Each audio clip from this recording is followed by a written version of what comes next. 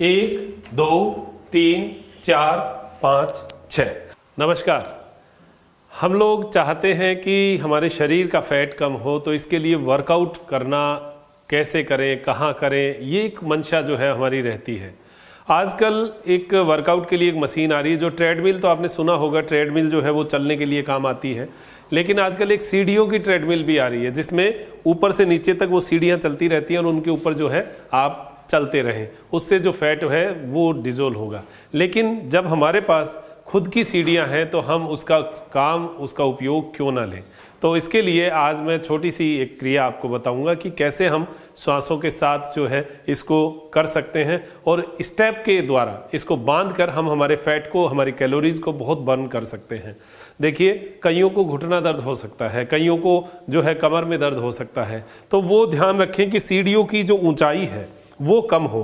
आ, कई घरों में मैंने देखा सात सात इंच की सीढ़ियाँ होती हैं। कई घरों में चार पाँच इंच की सीढ़ियाँ भी होती हैं।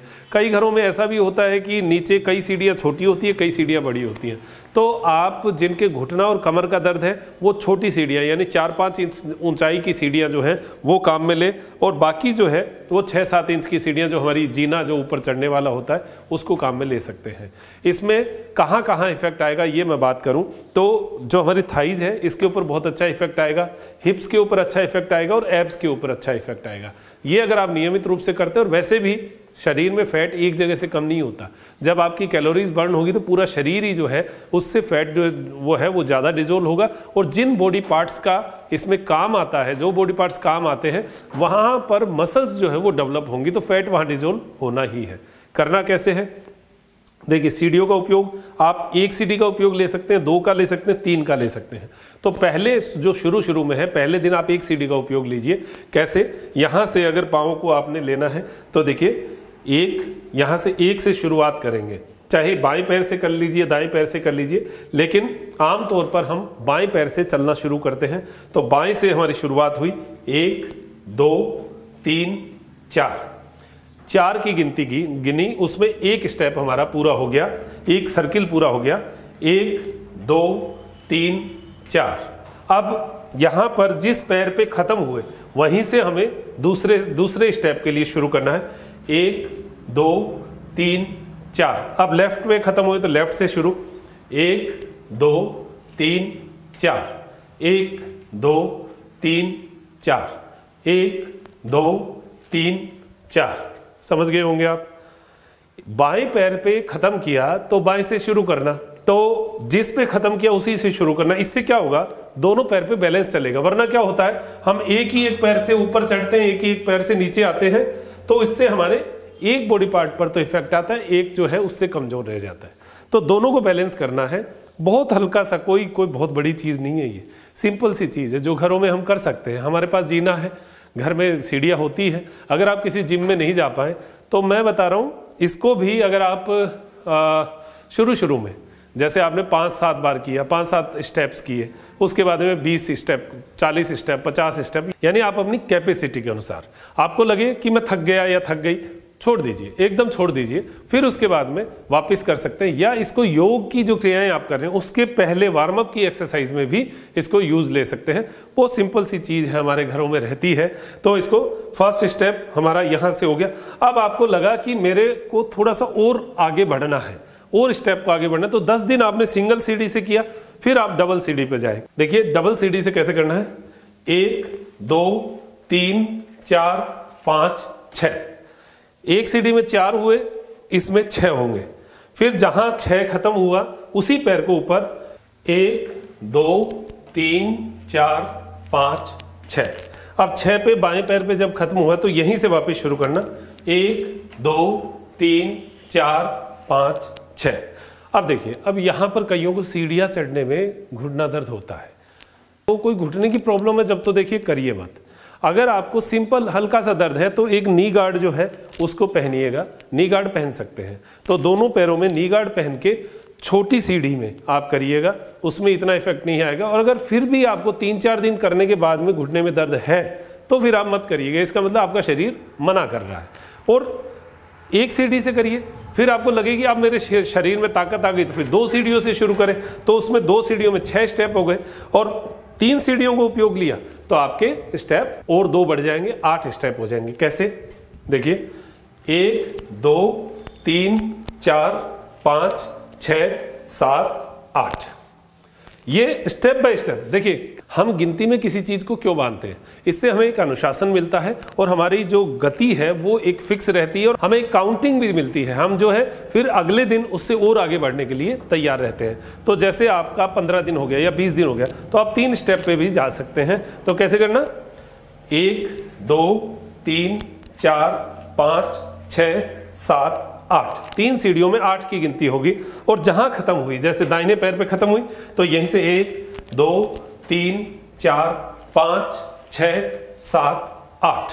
एक, दो, तीन, चार, पाँच छ सात, आठ। अब दाहिने पे खत्म हुई, यहीं से एक, दो, तीन, चार, पाँच छ सात, आठ। रिलैक्स। यहाँ फ़र्क कहाँ आएगा? पैरों के अंदर पिंडलियों का फैट है, पैर का फैट है, हिप्स का, थाइस का, यानी इस पूरे एरिया में और लोअर एप्स के ऊपर अच्छा इफ़ेक्ट आएगा। बाकी फिर कमर और अदर जो शरीर के हिस्से हैं, उनमें भी बहुत अच्छा इफ़ेक्ट आने वाला है। अब जब आप ये सारा कर ही रहे हैं तो उसके साथ एक पिंडलियों की बहुत अच्छी एक्सरसाइज है, जिसको रोज़ करनी चाहिए। हम लोग सीढ़ियों पे जाते नहीं, भूल जाते हैं। जब अब इस एक्सरसाइज के लिए हम सीढ़ियों पे जाएँगे तो फिर इसके साथ कर लीजिए। तो इसको श्वासों के साथ करना है। देखिए, ये जो क्रिया है, इसमें कोई श्वासों का कोई रोल नहीं है। सामान्य गति से आप जाएँ। वैसे सीढ़ियों में श्वासों का सीधा कोई रोल नहीं है। आपको जहाँ श्वास लेना है, लीजिए, छोड़ना है, छोड़ दीजिए, और श्वासों की गति सामान्य रहेगी। अब जो ये दूसरी क्रिया है, जो पिंडलियों के लिए है, विशेष रूप से हमारी पिंडलियों को नरम करने के लिए, मैंने आपको पहले बताया था, पिंडलियों को नरम करने की एक जो है क्रिया बताई थी, उसमें मैंने बताया था सीढ़ियों पर करना है। तो वो कैसे करना है? वो इसी के साथ कर लीजिए। दोनों तरफ़ जो है अपने जीने को पकड़ लीजिए और पैर को नीचे लेकर जाना। श्वास भरते हुए।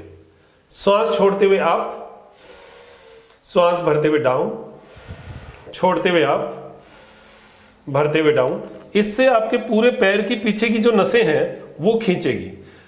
आप down up down up down first day five time five time करिए, फिर उसके बाद में अगले दिन दस बार, फिर अगले दिन फिर पंद्रह बार, फिर अगले दिन बीस बार, ऐसे बढ़ाते जाएँगे तो पिंडलियों की ताकत बढ़ेगी और पिंडलियों में जो गैस भरी हुई है टाइटनेस है, वो टाइटनेस जो है, वो इससे कम होगी। फिर सिंगल सिंगल पैर से भी कर सकते हैं, अगर आपकी ताकत बढ़ गई तो आप क्या करें?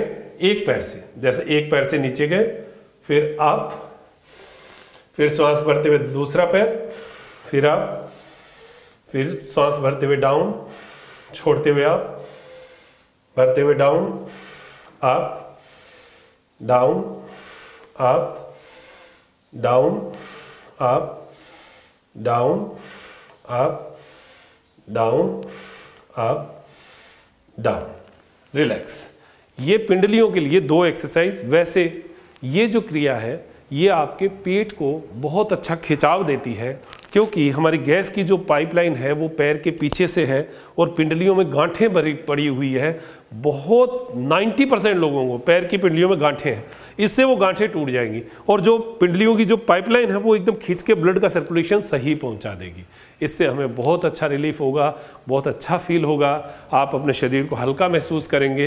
ये छोटी सी क्रिया बताइए, अगर आप किसी उसमें बंध नहीं सकते, आप योग की क्रियाओं में नहीं बन सकते कि भाई सुबह मुझे काम रहता है, शाम को काम रहता है तो खाना जब आप एक बजे खाना खा रहे हैं उससे एक घंटा पहले भी कर सकते हैं। इसको तो इसमें तो कोई बैठना करना कुछ है ही नहीं। सिंपल सी बात है, सीढ़ियों पे करना था तो आपने कर लिया कि मुझे पंद्रह मिनट का मेरा वर्कआउट करना है। पंद्रह मिनट मुझे ग्यारह बजे करना है, पंद्रह मिनट मैं शाम को छः बजे भी कर सकती हूँ या कर सकता हूँ। तो छः बजे कर लिया तो वो वर्कआउट आपका एकदम शानदार हो जाएगा। हाँ ये ज़रूर ध्यान रखना कि जैसे पीरियड्स टाइम में है माताओं बहनों को उस समय में नहीं करना। उस समय शरीर को किसी प्रकार की, इस प्रकार की खिंचाव क्रियाएँ नहीं करनी चाहिए।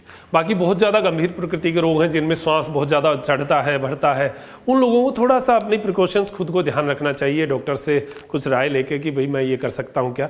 तो जिनको सीढ़ियाँ चढ़ने की सलाह दी गई है, उनको मैं ये मानता हूँ कि ये ऐसी क्रियाएँ अगर करते हैं तो उसे थकान भी नहीं आएगी घुटने वुटने में भी समस्या नहीं आएगी और हमें एक हल्कापन महसूस होगा, शरीर हल्का होगा और हम बड़े स्वस्थ महसूस करेंगे।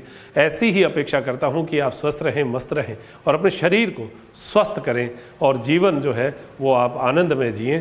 तो इसी आशा अपेक्षा के साथ मैं डॉक्टर मनोज योगाचार्य लेता हूँ इजाज़त, त्रिनेत्र टीवी के लिए त्रिनेत्र योगधाम से नमस्कार।